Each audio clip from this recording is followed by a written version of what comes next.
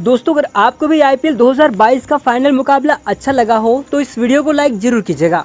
दोस्तों, आपको बताएँगे इस रोमांचक मुकाबले की पूरी हाईलाइट वीडियो ऐसे हार्दिक पांड्या की जादूगरी कप्तानी से राजस्थान चारों खाने चित्त हो गया। बताएँगे मैच की पूरी खबर, लेकिन उससे पहले आपको क्या लगता है? क्या रोहित के बाद टीम इंडिया की टी ट्वेंटी की कप्तान हार्दिक पांड्या को बनाना चाहिए या नहीं? कमेंट करके अपनी राय ज़रूर बताएँ। दोस्तों, जैसे कि आज आईपीएल 2022 का कारवा अपने अंतिम पड़ाव पर था। आज सबसे बड़े मुकाबले में 2022 की दो बड़ी दिग्गज टीमें गुजरात और राजस्थान ट्रॉफी पाने के लिए पूरा ज़ोर लगा दी। दोस्तों, आज इस बड़े मुकाबले में टॉस की बाजी संजू सैमसंग ने जीती और फाइनल में दबाव कम करने के लिए खुद पहले बल्लेबाजी करने का फैसला किया। ऐसे में पहले बल्लेबाजी करते हुए राजस्थान को गुजरात की कप्तान हार्दिक पांड्या ने बड़ी चुनौती दी।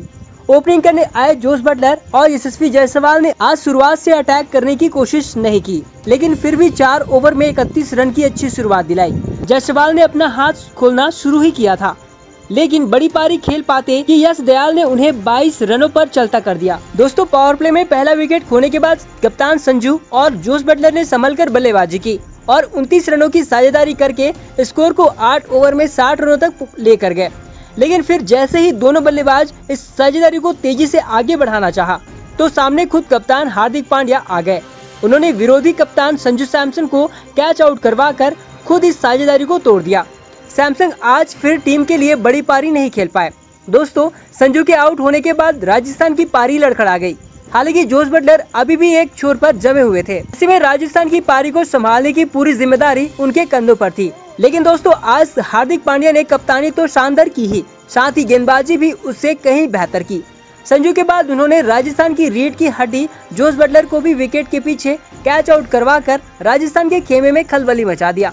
दोस्तों, पांड्या ने राजस्थान के बड़े बल्लेबाजों को आउट करने का जिम्मा खुद अपने कंधों पर ले लिया था। संजू और बटलर को पवेलियन भेजने के बाद उन्होंने राजस्थान की एक और बड़ी उम्मीद, सिमरॉन हेटमायर को भी अपने जाल में फंसाकर मैच को पूरी तरह से अपनी मुट्ठी में ही कर लिया।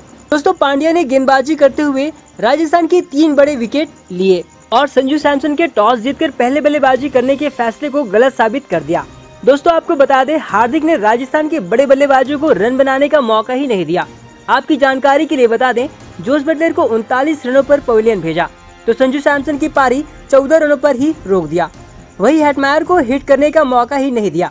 उनकी पारी को 11 रनों पर रोककर राजस्थान को बड़ा स्कोर खड़ा करने का मौका ही नहीं दिया। राजस्थान ने जैसे तैसे करके 20 ओवर में 9 विकेट के नुकसान पर 130 रन बनाने में कामयाब हो पाई। दोस्तों 130 रन 120 गेंदों में बनाना गुजरात के लिए कोई बड़ी चुनौती नहीं थी। हालाँकि फाइनल मैच का दबाव में 130 रन भी बहुत था। और राजस्थान भी आसानी से हार मारने को तैयार नहीं थी। उन्होंने भी शानदार गेंदबाजी करी और पावर प्ले को गुजरात के नाम नहीं, बल्कि अपने नाम किया। दोस्तों, आपको बता दें पावर प्ले में गुजरात ने सिर्फ़ 31 रन बनाए और इस 31 रनों को बनाने में दो बड़े विकेट रिद्धिमान शाह और मैथ्यू वेट का विकेट गुजरात को गंवाना पड़ा। दोस्तों पावर प्ले के बाद भी राजस्थान ने मैच में पकड़ बनाए रखा। कप्तान हार्दिक और शुभन गिल को आसानी से रन बनाने नहीं दिया। आपको बता दें, गुजरात ने पहले 10 ओवर में सिर्फ़ चौवन रन ही बनाए थे, जिससे एक समय के लिए लगा ये मैच फंस गया है। लेकिन दोस्तों, पांड्या और गिल की भी तारीफ़ करनी होगी, जिन्होंने तेज़ी से रन बनाने को नहीं देखा, बल्कि एक साझेदारी बनाई और विकेट को गिरने नहीं दिया, और उनकी इसी रणनीति के आगे राजस्थान मात खा गई। दोनों बल्लेबाजों ने सूझबूझ के साथ तीसरे विकेट के लिए तिरसठ रनों की साझेदारी करके मैच को जीत के नज़दीक लेकर आए। हालाँकि इस दौरान पांड्या 30 गेंदों में 34 रन बनाकर चहल की गेंद पर कैच आउट हो गए। लेकिन गिल लड़ते रहे और मिलर के साथ मिलकर गुजरात को एक ऐतिहासिक जीत दिला ही दी। दोस्तों, ये मैच हार्दिक पांड्या की शानदार कप्तानी के साथ गेंदबाजी और बल्लेबाजी में दमदार प्रदर्शन की बदौलत गुजरात ने फाइनल मैच जीतकर पहले ही सीज़न में ट्रॉफी को अपने नाम करके इतिहास रच दिया।